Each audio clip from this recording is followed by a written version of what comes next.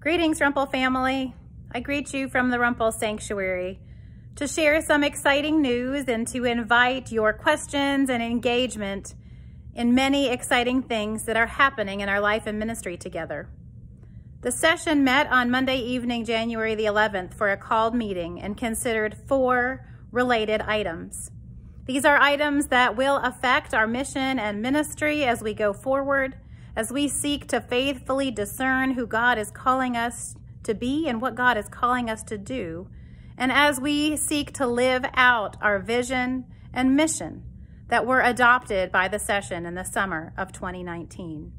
These are conversations, and we hope that you will reach out to any of us on the session if you have questions, and we hope that you'll participate in upcoming conversations that we will make available for people to ask questions and to offer input.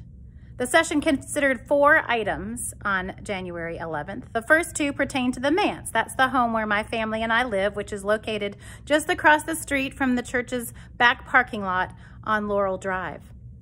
The first item was to create a manse renovation fund where specific donations and contributions can go for the renovation and expansion of the manse.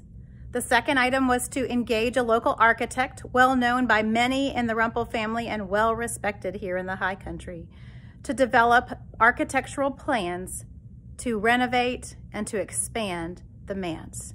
You may know that home was built originally in 1961 with the labor of Rumple Church family members. The third item that the session agreed to on January 11th was to engage a consulting firm from Raleigh, North Carolina, a firm that came highly recommended to us by other churches in North Carolina, and a firm that members of the session and other members of the church interviewed with me back in December. The session agreed to engage this firm to help us in a feasibility study.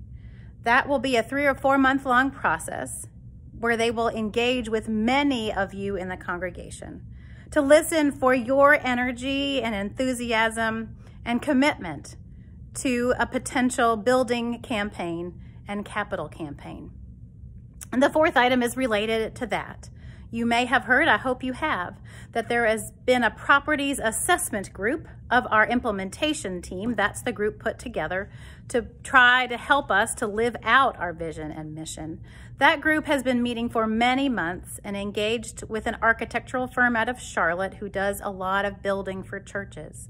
That architectural firm made a presentation to the session in December about a master plan, a proposed master plan for the main campus here at Rumple. That plan includes renovations and expansions.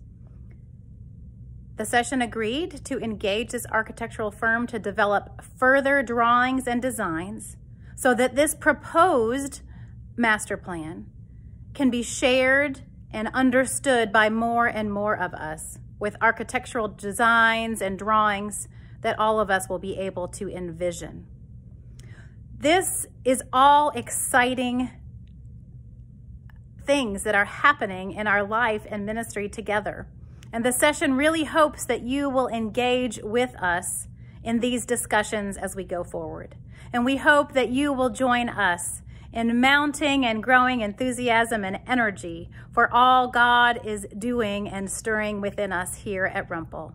Please reach out to us if you have questions and look for upcoming messages and emails and announcements in the e-news about ways that you can be involved in upcoming conversations. Be well.